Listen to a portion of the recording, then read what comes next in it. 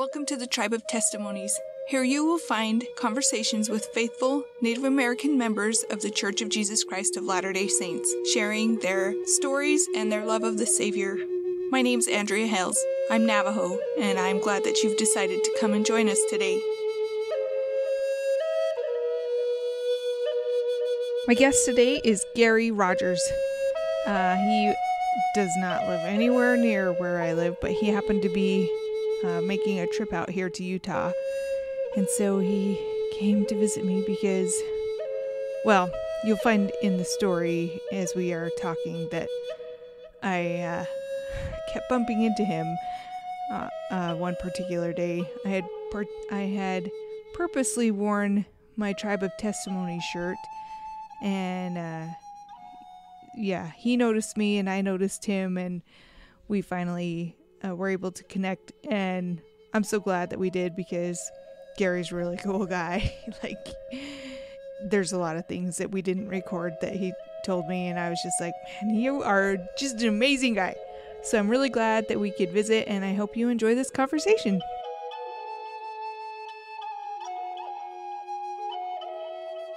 I'm in my home today with brother Gary Rogers. Uh, we met this summer in Nauvoo, and we kept bumping into each other the day that I was there. So I kept, I kept asking him if he'd be a guest, and so I kept following up too. And I'm really glad that he's here in my home today. Would you please introduce yourself, Gary, in your tribal way as much as possible? If it's in your language, great. If it's not, that's fine. Not everybody speaks their language, and some languages are dead. Okay, thank you, Andrea, for having me. Um, I speak very little of my language. I can do the introduction, Dawa Dawa, Gary Rogers. I'm also known as in but in the tribe as Adoha Yanaisa, which means walking around buffalo. Which tribe? Uh, Cherokee. Cherokee. Yes. Okay, cool. Yeah. Um, would you please share something that you love about your heritage as it relates to the gospel of Jesus Christ? It can be pretty much anything a story, a celebration, a way of life, a ceremony, anything. What do you love about your heritage as it relates to the gospel? That's a tough question. I've been thinking about that since you sent me the email with the possible questions. And I'm not as immersed in the culture as I would like to be because I don't live as close as I would like to. One of the things probably I like the most is the fact that the Cherokee Nation was considered the most civilized at the time, and I believe the first ones with a, with an alphabet or a written a written language. And I spent a lot of time up in Cherokee, North Carolina, which is the reservation. Uh, I go we we go there probably three, maybe four times a year for a week or so each time. Um, and I love I love the history of the whole thing, of how the Cherokee interacted with the European settlers Actually, that's one of the that was my key to finding out how I had native blood in me. that was a difficult um, that was a difficult journey because in 19 I joined the church in 1979 and um, President Kimball was the prophet and he had directed at that time all new members to create a four generation family tree. Well, I could only do two, maybe three on my mother's side. And uh, the um, the big stickler was my great grandfather on my father's side. Um, because he had loved, they, they were all from Mississippi. Well, actually, as I got into the genealogy, I found out that they, the whole thing had migrated down from the Cherokees I mean, from the uh, Carolinas down in through Mississippi, Georgia, Mississippi, Alabama, Louisiana. um, but my my my block was at my great grandfather on my father's side. We knew his name.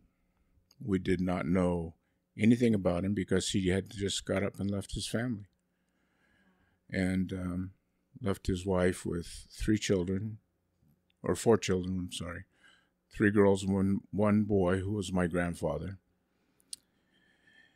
And again, a year after joining the church, I got my patriarchal blessing, which was interesting to me because the patriarchal blessing referenced the spirit of Elijah three times in different aspects regarding my mortal family and my family that has passed on and my ancestry.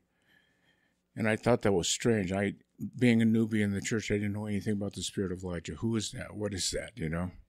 So I, I started digging around into it and I found out that it had to do with um, turning the hearts of the fathers to the children, children to the father, and so on and so forth. I was I was really good with my mother's side of the family. They were all Anglo-Saxons. Um, but my father's family, again, I, the blockage was at my great at my great grandfather, and I worked on that for thirty plus years. Could never find anything on this man, and um, I mean, we knew his name. Um, and that's all we knew. And then I, I, I got down into Miami. I, I was in Miami for 24 years, and I, I got hooked up with my eldest uncle on my father's side, his eldest brother. And even in my youth, he was kind of like my hero because he was a big Navy guy, you know.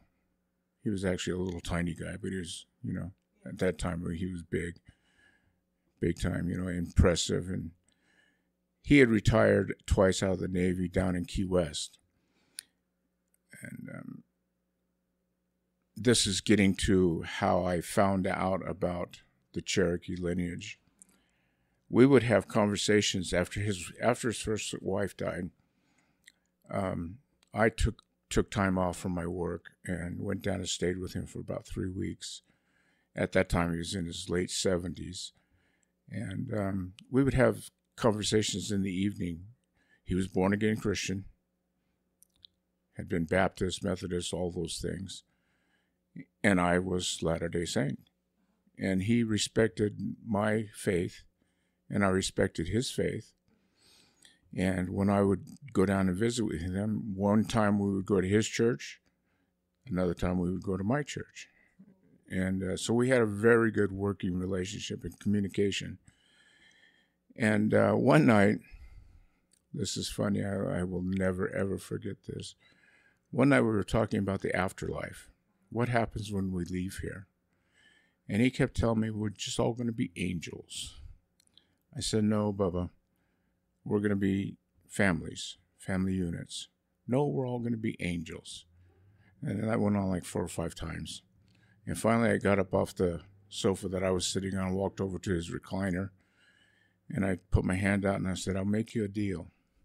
Whichever one of us gets out of here first, find a way to get back and let the other one know he's right.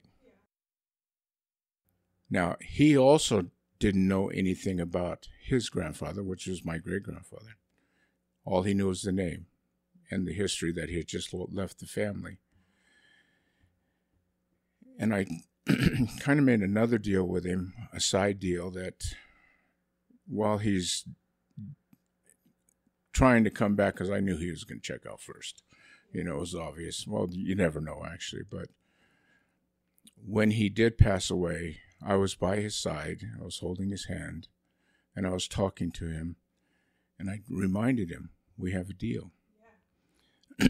when I reminded him we had a deal, a tear dropped from his left eye across the brow of his nose because he was in a coma. Uh, he had taken a bad fall. Um, and I knew that he'd already been there. When that tear came across, I knew that he had already been there and that he knew that I was right. So I went back back to my job after I actually had to do two funerals for him, one in Key West and one in Arlington. And um, I went back to my job in Miami I had put away the genealogy research for probably about five years because I was just frustrated. I could not get past that point. My mother's side was complete. You know, it was, it went all the way back to England and so on and so forth, but I could not get past the Roger side. And then one night, almost 13 months to the day, I sat down at the computer and I decided I'd punch in my great grandfather's name. Within two or three um, seconds, I think it was, it was a really strong hit. Oh, well, let me follow this. Confirmed it all. And that led to his parents. And then another one led to his parents. And I, I was there for probably about four hours chasing these leads, just sitting in my computer in my little office at home. and uh, then it hit me. Well, it's been 13 months since Jim died. And I don't know how he did it, but the Lord let him come back and open this door for me. Found out that my great grandfather was the grandson of a principal chief from the Western nations, Chief John Rogers, 1837 to 30, 1839. And um, his father was a Scottish trader named Captain Jack Hellfire Rogers, who had married into the Cherokee Nation. And um, he had like five or six wives. So he had several children. And then jumping forward, that was in 2008 in 2009, one of my sons, so we communicate a lot together. We did a lot of things. We we've done road trips, just him and I, all over the world. And um, he called me up one day and he says, "Hey, Dad, uh, there's something going on in Washington D.C. You want to go?" I said, "Yeah, sure." I said, "But if we do that, we've got to go to the Congressional Cemetery because I had already found Chief John Rogers he is buried in the congressional cemetery in Washington, D.C. So I said, I'll rent the car. You be here on Friday and we'll head out. So we did. And uh, after this big rally, we broke away from it and went over to the congressional cemetery and walked into a very small little house type thing that the curator worked out of we walked in and she was speaking with some people and she said she'd get right back to us and when they left she came over she goes uh, what can i help you with? And i said i'd like to see the, the gravesite of chief john rogers. And she looked at me and she said are you related? And i said yes i'm like this third second third grandson great grandson and i said i just found out. Well this woman went ballistic. She drug us all over that cemetery. Really? Yeah. She showed us Chief John's uh, gravesite, his wife's gravesite, his son's gravesite, who was James Rogers. He was the diplomatic, diplomatic liaison from the Cherokee Nation to the United States government. Um, and the Rogers were intermarried with the Vanns, V A N N, and um, Coody's, C O O D Y, and she drug us all over that place, and they were, they were everywhere, you know. So when we got back, when we got back to Miami, uh, I went back to my job, and then one afternoon I got a call from a lady, and she said, uh, "Mr. Rogers," I said, "Yes." She said, Chief, I'm calling from the Intertribal Bear Society. Chief Kills Like Badger would like to see you. Just out of the blue. What? And I went, Yeah, that's what I said. what? What's this all about? She says, Well, you know, so and so from Washington, D.C. contacted us and said you might want to talk to us or we might want to talk to you. So, um, I called Joshua and I told him that the Intertribal Bear Society would like to see us both. And so we ended up meeting with uh, Chief Killslike Badger, which is his given name, his Christian name is Robert Moorman, Mormon. No. know. Oh, uh, Huh? really? Yeah, it's not Mormon like we spell, Oh, you know, okay. Mormon, but it's Mormon is, is the English the English name Mormon. and uh, it was actually a council meeting that they were having, and they introduced Joshua and I as the great grandsons of Chief John Rogers, and uh, presented us with the bear claw that you see me wear. I wear this bear claw all the time. Um, and presented Joshua with one. I don't know what he ever did with it. I think he has it in his bedroom or something. But um, I wear this all the time. Yeah, that was how I first I uh first thought that guy, he's probably he's probably native because of your necklace. Yeah, really? Yeah.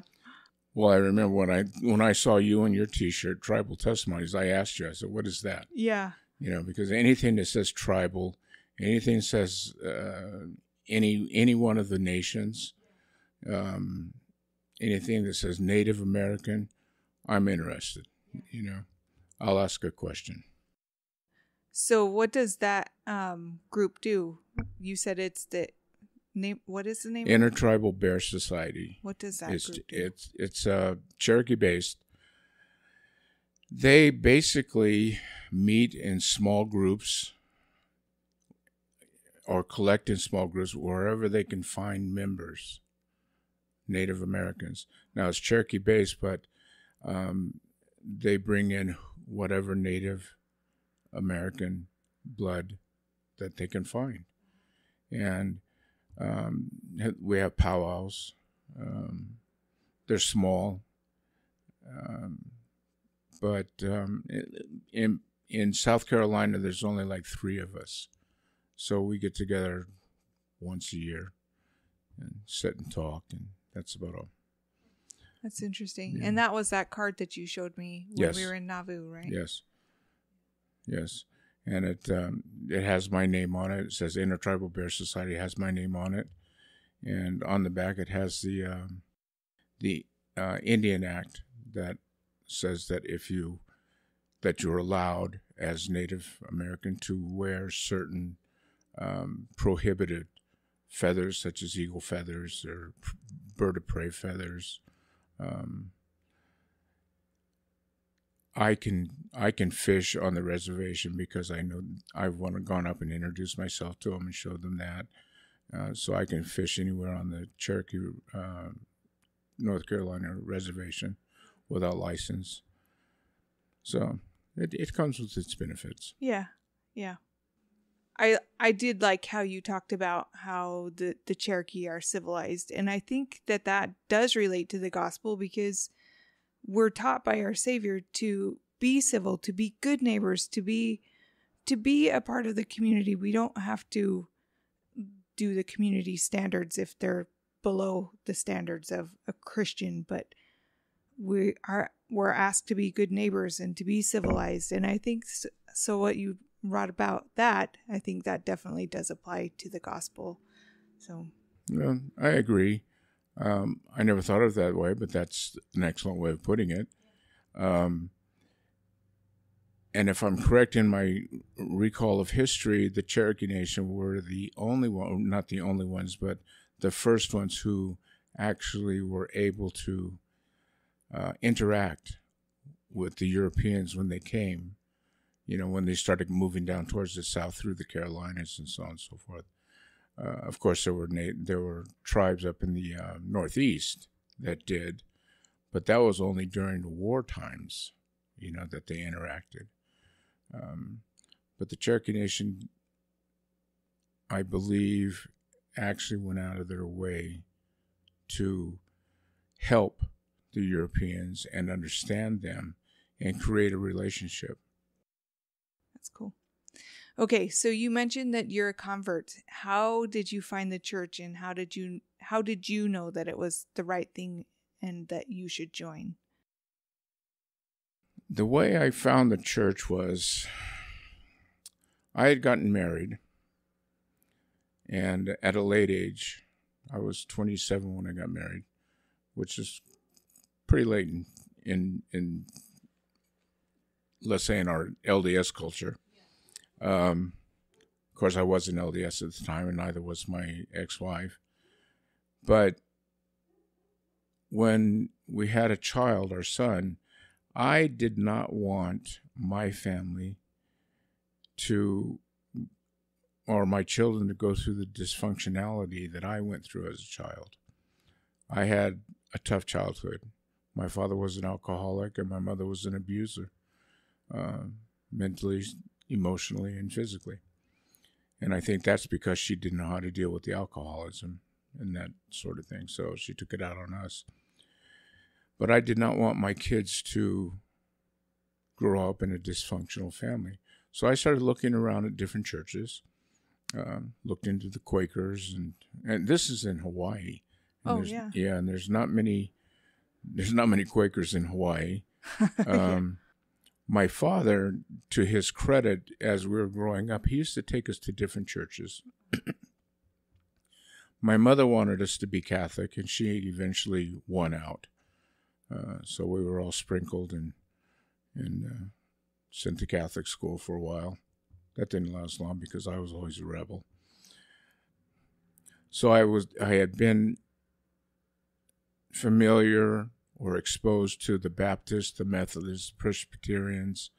Um, I looked into the Quakers, and then I said, "Well, let me look into the Mormons." You know, because I hear that they got a really strong family unit uh, philosophy. I went and um, I called for missionaries to come to my home, and they did, and they started telling me about Joseph Smith, and this is in the days when they had the placards Uh huh. The flip charts. Yeah, the big flip charts, and you had to go 13 lessons uh, or something to that effect before you could get baptized. And uh, like I just said, I've always been a rebel, so I wasn't going to 13 lessons because I already knew. You know, I knew from the first time that they told me Joseph Smith was a prophet, I believed him. And they gave me a Book of Mormon, and I read it in like three days. I went, hmm, this is interesting. And then the first time I went into the into an actual chapel, I had like a kind of a deja vu. And I remember as a child going into a chapel just like that, and then breaking off and going to Sunday school, because my father had taken us to there. So I uh, did a couple more lessons with the missionaries. I think it was only three le- lessons before I was baptized. We were baptized, and uh, I had to. I ended up having to drag my ex-wife kicking and screaming into it because she was not crazy about the idea. But I said, "Look, it, this is how we're going to keep this family together, and hopefully." Yeah. and um, it was good. So I was baptized March 3rd, 1979, in Honolulu, Hawaii. Been in the church ever since. That's so cool. Yeah. What took you to Nauvoo this summer when when we bumped into each other? Were you just sightseeing? Did you have other things that you were doing? Well, Was it your first time there? it was my first time there. I had never been to Mal- uh, Nauvoo, Palmyra, Kirtland, um, all the places that are, are talked about by most members who've either grown up in the church or had been converted. But um, it was something I'd been wanting to do. My, my wife, my current wife, and I, Elizabeth, had been talking about it, and we actually had plans to uh, go to the um, Hill Cumorah pageant. Um, and then COVID hit, and that just that knocked that out. And then they stopped the pageant. So that was uh, that was a killer. But I I said, you know, we'll make it as soon as there's there are no restrictions, because I don't do well with restrictions. Um, I can take res- restrictions and rules from my Heavenly Father and the Holy Ghost and Jesus Christ, but man is not going to tell me what to do. That's just my nature. So, um, again, going back to the patriarchal blessing and the spirit of Elijah and doing all this research, I had believed for several years when I first joined the church that I was the only member ever. Yeah. I was the first, The first ever. one. yeah. But then I uh, found on my mother's side a family out of Tennessee, and something told me that they were LDS. But I couldn't find any any record of it. So I mean, all of these years that I've been doing the genealogy, family history, looking into these people, going to these different places was always a priority. I was going to get there before I died. And all the work that I'd done in the temple for these people, I think I've done probably a good 3,000 Holy smokes. uh, ordinances for For your family. my family, my family, and my my current wife's family. Yeah. Wow. So it's a big deal. It's a big deal for me. When I lived here in Utah, both times I was at the Provo Temple four night, four days a week, in the mornings before I would go to work, four days a week, um, doing family names and so on and so forth. But so it's always been a real big deal. But this particular time when we met in Nauvoo, my wife is Elizabeth is from Trinidad down in the Caribbean. And I'm going to speak about her a little bit here because she is a pioneer. She is a modern day pioneer. If you go to look up on the internet the church, the history of the Church of Jesus Christ of Latter-day Saints in Trinidad and Tobago, you will see her name sprinkled through there a lot That's so cool. a lot. She was baptized in London, went back to Trinidad, had a dream um, a couple days before they were all going to have a big um, reunion, and then she was supposed to stand up and tell them all about the gospel right there. So she did, and her aunt, her mother's sister, was the only person to be baptized out of that family at that time. She was the first person in Trinidad to be baptized in Trinidad. Yeah. Elizabeth was baptized in London, went back to Trinidad, told her family, and her Aunt Lucy was the first baptism in Trinidad. So who who baptized her? Um, missionaries. Now, here's the other deal uh, Trinidad had not been dedicated for the preaching of the gospel. It, the, the Trinidadian government, um, they change from one socialist party to the other socialist party. They used to be the Commonwealth. But um, when Elizabeth went back to Trinidad and told her family, there was nobody there to preach the gospel or do baptisms or anything like that. So she wrote a letter, and I've seen the letter to President Kimball.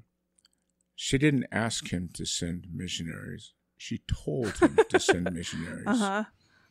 She said, You need to send missionaries to us now. And so she got a letter back from the secretary and said, Yes, what we're going to do is release the missionaries in Caracas, Venezuela, which is just off, well, Trinidad is just off the, the coast of Venezuela. So, what uh, President Kimball decided to do was to release the missionaries from Caracas two weeks early so that they could travel through Trinidad on a two week visitor visa and they could talk to people. Yeah, but they could not proselyte, they couldn't knock on doors. So, what Salt Lake did was send names to Elizabeth of people who had been to Salt Lake and signed up for whatever, from wherever they had been in an LDS area that they got their name from. And they would call the people from Elizabeth's home and they would come and listen to the missionaries preach. That's an amazing story. And they did that for many years uh, several years. And so that's how the church got in. And then finally, I think it was um, Russell Ballard came and dedicated the, the land for the Wow. pre- they, they you know the the church has to go through all these jump through all these hoops with the Yeah. governments to to make sure it's up and up. yeah so they finally accepted the church and um, her aunt was the first person to be baptized in trinidad she's still alive That's and, amazing. and she's still active as active as she could be at 84 years old you know um so when people talk about pioneers you know i'm living with one yeah. you know a modern day pioneer. Oh, that's why she could wear the dress. yeah yeah but kidding. she I'm just kidding. she didn't like it that much just kidding. but um so like i said going back we were going to go to Cumorah. they canceled that and again her being from trinidad she doesn't know a whole lot about american history except for what i have taught her for the most part and some things that she's learned um so i thought it would be a good idea for me to take her on well we decided this year we're going to do an american history and church history tour so we went up to Philadelphia and did all of that stuff. And then um, to Boston, spent some time with my son up there and his family. Uh, we went to the Philadelphia Temple, went to the Boston Temple. Then we drove over to um, Palmyra, I believe was first. Yeah. We did the Sacred Grove and um, Palmyra Temple. I had her in the Sacred Grove the day before her birthday. I had her in in the Palmyra Temple on her birthday. I mean, you can't you can't do much better than that. Um, then we went on to Kirtland, and I'm such a wiseacre, you know. I I would tell people I'm going to Kirtland. I'm trying to get that temple back for us, and I did. You know, I I t- told the girl who was doing the tour. I said, "Listen, what's um, what's the possibilities of making a deal here? You know, because this really belongs to us." And um, she didn't quite understand. She was a young girl. So, She's like, what? and then we went on to um, Zikirtland to Nauvoo, and that's where we met. And so that was the purpose of that whole deal was to get more insight for my wife in the American history, and for us both to get more insight with the church and the pioneer heritage. And I, again, doing the family history, I had found several connections to the early church. One of them being Jonathan Browning from Browning Rifles. They're, they're here in Utah now, but uh, he started in that little town just, I think it's just south of Nauvoo, and moved to Nauvoo. I did the tour of that particular place because it's in my history, and, and it was it was it was cool because the the um the lady giving the tour, you know, you know how they are. It's couples on tour and or young missionaries. Everybody's a missionary there, uh, on mission. So the lady was giving a tour, and she asked if anybody was uh, a gun person. Well, yeah, I'm kind of a gun person. And she goes, "Well, how how do are you related to anybody that's famous?" I said, "Yeah, a guy named Jonathan Browning and um, um, a couple guys named Smith and Wesson, another guy I think named Winchester. All of them? Yeah, Wow. and that's all through the family history, um, and and searching these people out. That's a fascinating thing for me. I mean, I am just that's that's my Sunday afternoon routine. Is to sit there after I come home from sacrament. Sit there with your family who've passed. Yep, go on the computer and start looking for them and and finding them. so, um, that particular tour, the lady was giving us, and we got into the. Um, well, she asked the question, and I raised my hand, and then she said something, and she goes, "Well, you're a Browning." I said, "No, I didn't say that I was a Browning. I said I'm related to the Brownings." And uh, I think it's like thirteenth cousin or something like that. And um, we got to the gun room, the man, the the, the forge, and they have all these guns behind the case. And there was one gun that I had never seen before. Now I do muzzle loading, black powder shooting. Uh, I'm familiar with all all modern weapons. I mean, it's just, it's in the DNA. Um, so there was one weapon up there that she couldn't explain how it operated, and it was a black powder uh, rifle that had a side magazine. Now, black powder rifles were usually one shot, but Browning had come up with a design that he had a, a side magazine that fed into the breech, but she couldn't explain how that worked. And I'm looking at it, and I couldn't get my hands on it or you know right. touch it's on it. display. so I just said, you know, may I come up a little closer? And I looked at it, and she goes, "Can you figure out how it does?" And I said, "Yeah. You see this thing down at the bottom, which was a magazine that was not in the rifle. There was a, there was a magazine in in the rifle, or just being loaded into the rifle, but there was one down at the bottom, and I could see that there were balls in each one of the cylinders." And then on the back of the magazine, there was a cap. It's called, this is a um, percussion, is what they're called. But I really couldn't figure out how to how it would how it would work. You know, you can't manually just keep sliding it across. So I got up closer to the rifle and I saw that there was a lever. So Browning had created this side magazine, and all you had to do was touch this leather uh, lever, and it would advance the, the magazine over one. Shoot, advance it over again, shoot, and so on and so forth. So I explained that to her, and she was, she bought it. I mean, it made sense to me, you know, knowing what I know. And um, all the other people, it, they bought it. I said, okay, that's cool. She took me aside after the tour, and she said, I just want to thank you. She goes, I didn't know anything about guns before I came here. I've only been here for two weeks. Oh, poor girl. yeah, yeah. And I went, well, you're, you're welcome. I said, I, I didn't want to try and step on your toes, but I mean, you know, if you didn't know how it worked, and if I, if I could help, I did. You know, so that was that was really cool. I enjoyed Nauvoo. I loved Nauvoo. You know, and then the first night we were there, we went to the first. Uh, you saw the second we we saw the British one on Wednesday, and then oh, you saw them both. Yeah, we did. Oh, okay. So yeah, we saw the British one on Wednesday also, and then the one on Thursday because we met Thursday morning. And um, so, anyways, the one on and then we went to the temple Thursday morning, but at the British um, pageant, I went up to the up the concession stand and I bought a couple of waters, and they didn't have any change. And I said, well, I just keep the change, you know, whatever, I don't care. I had I gave her five dollar bill. It was a dollar. They didn't have any dollars. I said, that's all right. Don't worry about it.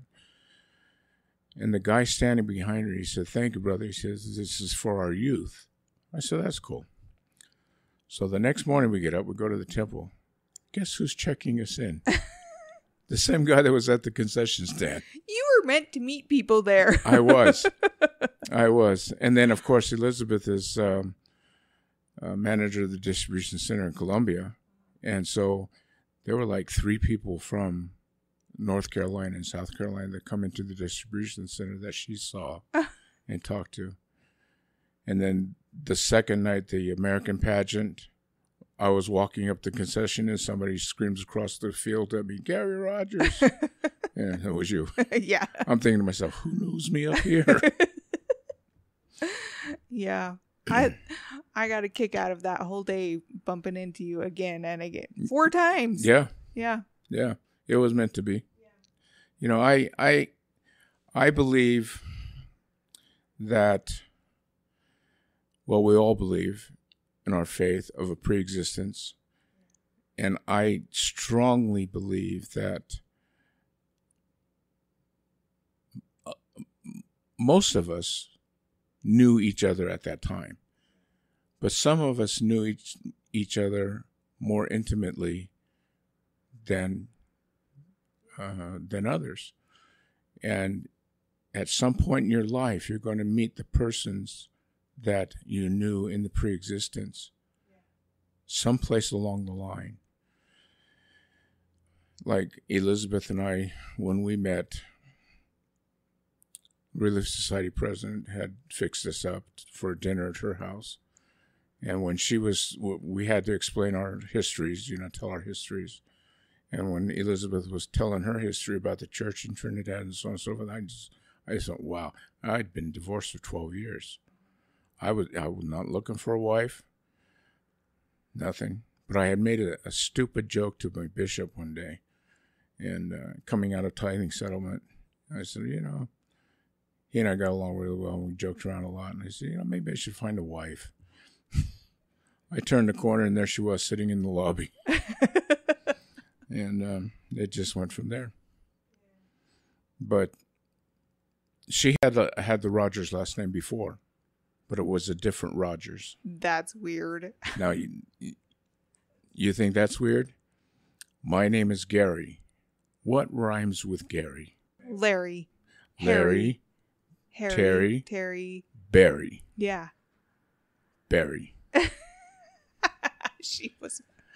She, uh, I was, I, I, she was talking to the Relief Society president one day after this whole thing started. We got introduced, and I walked in. and She goes, "Brother Rogers." She goes, "What was your first name again?" And I said, "Gary." She goes, "Oh, my ex-husband was Gary Rogers, or Barry Rogers." And I just thought, "Well, I'm done. That's too much baggage for me."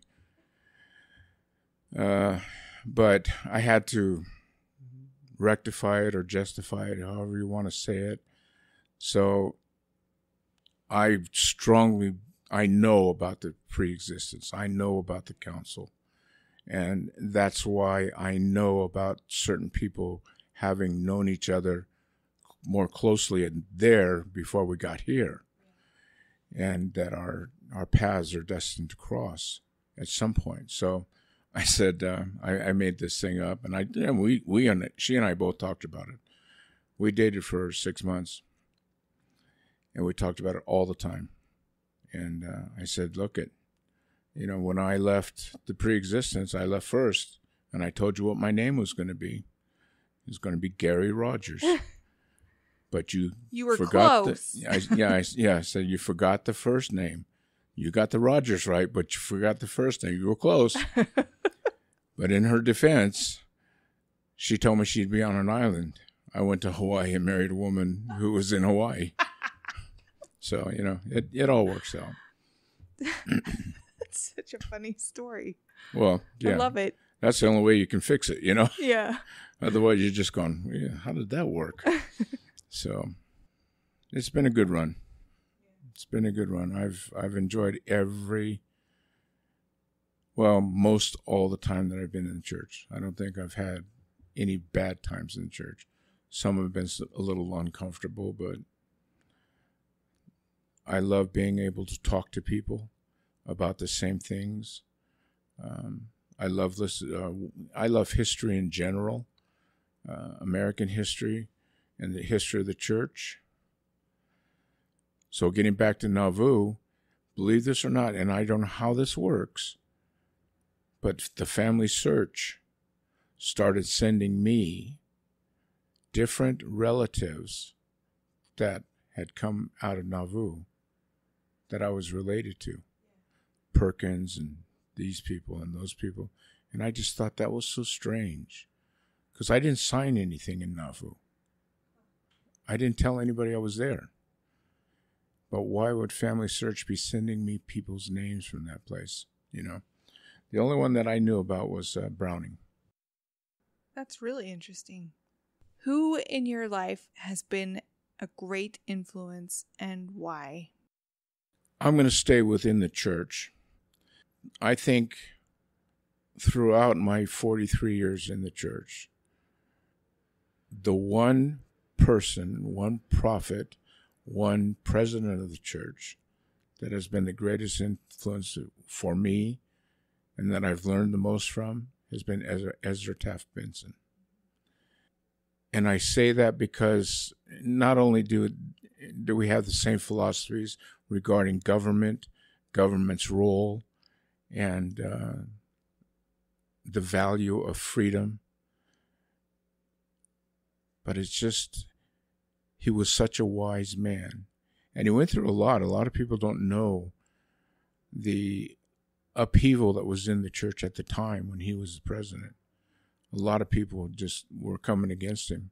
You know, a lot of the leadership were going against him because they felt that he was too strong on the on the um, the freedom aspect or the following the Constitution, and um, so on and so forth. So I read I read a lot of Ezra Taft Benson works, Mm-hmm. and when I'm at home every day, sometimes morning, sometimes afternoon, I'll read uh, one of his talks um, out of one of his many books or one of the um, teachings. But I think he's been the greatest influence in my church life. In my real life, probably my uncle and his example. Those are wonderful people. Thank you for sharing that. I have one final question for you. What does it mean to you to know that you belong to the tribe of Israel? That's a tough question because I I'm going to relate a story. I used to teach martial arts. Um, I was actually here in Utah that second tour with uh, two Taekwondo schools here, one in Orem, one in Provo, and overseeing the Intermountain West schools. But when I uh, was asked to go out to Seattle, um, I had I had a big school, a flagship school, and I had a family of Lebanese, two families, two brothers had been arranged marriage with two sisters, and they had nine kids together. And uh, they were Lebanese, Druze. They weren't Muslim, they were Druze. And I used to go to their house for lunch or dinner, and I would ask them questions and so on and so forth. And I came to realize that, you know, all of those people are all, they're all Jews. They're all Israelis, just of different sects, different tribes. And when I got my patriarchal blessing, it said I was tribe of Ephraim. I went, okay, well, that's interesting. But I've always felt a connection to um, the Jewish people. Mm-hmm. and that's probably why um, my friend who I told you about off off tape, who became the preacher for forty years for the Presbytery, he was Jewish. He was Jewish, and he and I have had a a fantastic relationship for fifty years, fifty one years. So, what does it mean to me to be part, to know that I'm a part of Israel? Was the question. Mm-hmm. It means a great deal. It, it gives me comfort to a degree. Gives me a lot of. I have a lot of empathy for the Israeli people and for Israel, for the tribes of Israel. And I'm looking forward to um, when we're all united. You know, not just as tribe of Israel, but the the nations of the Navajo, the nations of the Sioux, the nations of Cherokee, the Huron, Iroquois, and even the Gentiles. Yeah. You know, that's going to be that's going to be something, and I think it's not going to happen too far distant future. I think we're getting real close. Thank you, Gary, for coming to my house and spending this time with me. Well, thank you. It's been an honor. And, uh, I was apprehensive at, at, first, as you when when you asked me in Nauvoo. I, hey, look, I've been in front of a camera. I've been in front of microphones. Do I really want to do this again? but I'm glad you asked me.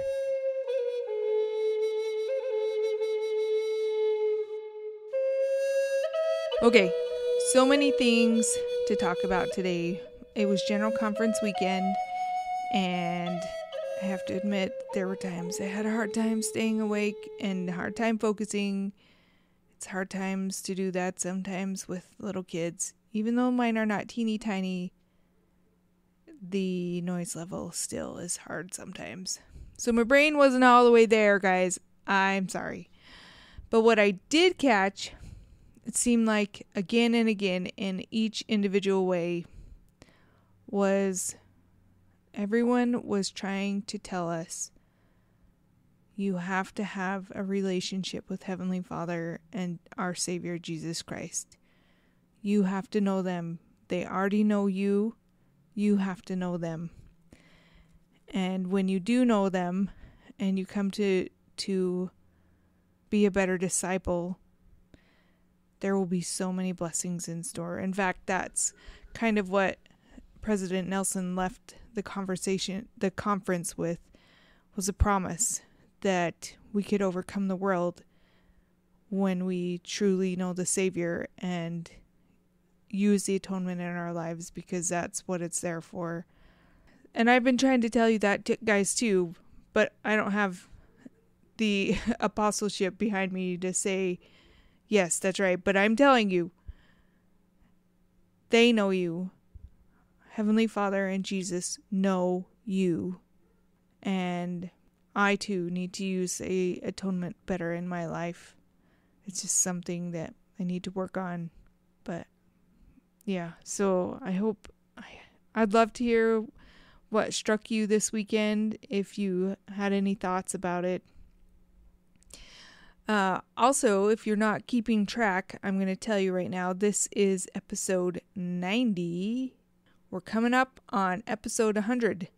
Um, I already have somebody in in mind for episode 100, but is there someone in particular that we need to hear from?